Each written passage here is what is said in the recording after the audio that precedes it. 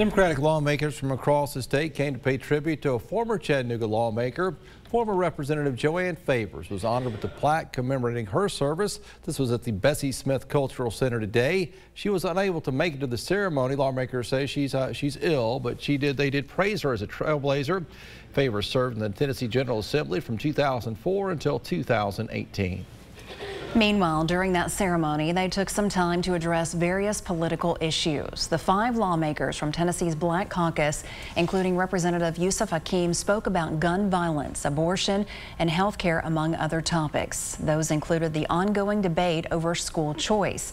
Republican lawmakers we talked to yesterday say they expect to bring it back to the floor of the General Assembly in January. They believe providing for a $7,000 scholarship to private schools will enable enable families to choose the best education for them.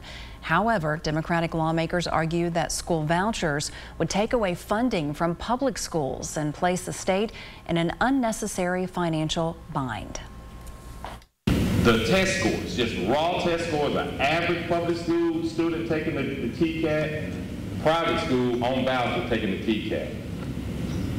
Public schools did better. Yep. Not the preschool, but they did better than the private schools. Nothing magic's happening there that can't happen in our public schools. Currently, Tennessee spends roughly $11,000 per student.